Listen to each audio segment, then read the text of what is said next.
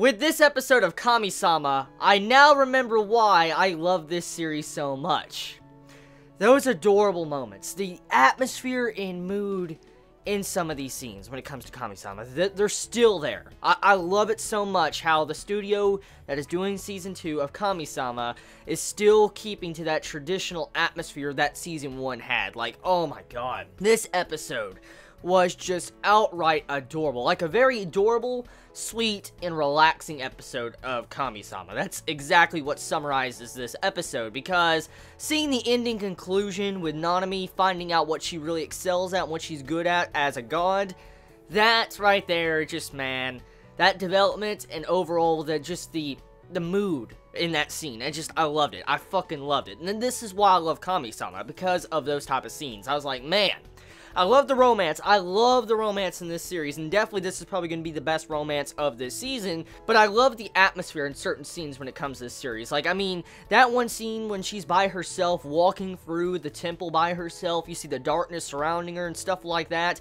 You see how lonely she is, and then all of a sudden you see how this butterfly comes down and helps her and leads her to the way to where she needs to go. That scene, beautiful.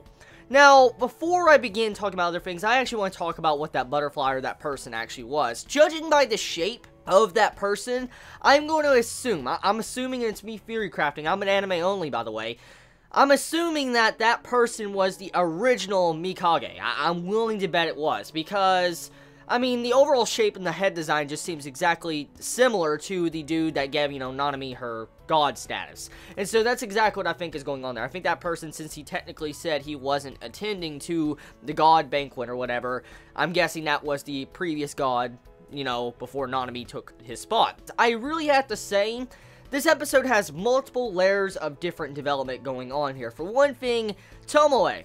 Oh my. Oh my that romance development, the straight up romance development of Tomoe and freaking Nanami. Like, dude, Tomoe was in class, sitting in the freaking like classroom, you know, as Nanami, trying to fake as her, and Tomoe is actually thinking in his mind about, oh, when she actually, you know, did that, you know, embarrassing thing with me the other day, like when she confessed to me. I mean, like, holy shit, he, he actually starting to grow some actual romantic emotions towards Nanami. And to see that, I'm like, fuck yes, yes! I love how Tomoe and Nanami's actual romance is progressing in this season. I fucking love that. So, that's just one thing I wanted to point out. Getting to see that in this episode was like, yeah.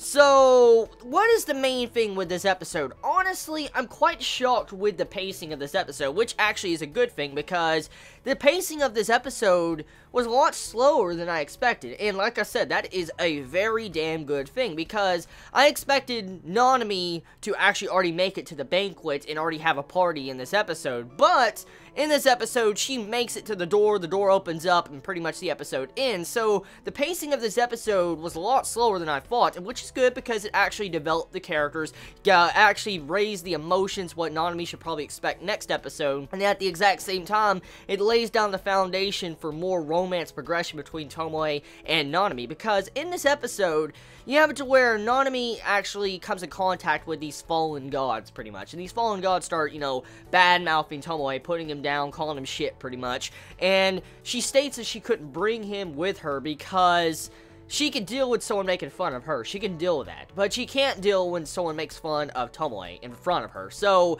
she would not be able to keep her composure if she was to actually have Tomoe with her when she went to the banquet if someone wanted to make fun of him. So pretty much with this episode, we see how much Nanami once again respects Tomoe and how Tomoe technically respects her. He technically didn't even want to go to the banquet, actually. Tomoe didn't. But he really wanted to go to actually help out Nanami because he knew for a fact Nanami would probably get picked on since she is a human god, which in turn at the end of this episode, Nanami has new determination to realize it doesn't matter if she's human or not, she has something different than the other gods, and that is actually a good thing. So, the episode overall, when it came to the progression, the setups, and the development with the romance, it was a damn good episode. It really was. We also find out that Mamoru actually has a human form. He could transform into a little elementary school student, pretty much. And I was shocked by the voice actor. The voice actor of Mamoru is Onoda from Yowamushi Pedal. I'm like, what the fuck? Like, I did not expect that voice actor at all. When I saw Mamoru talk, I'm like, Onoda.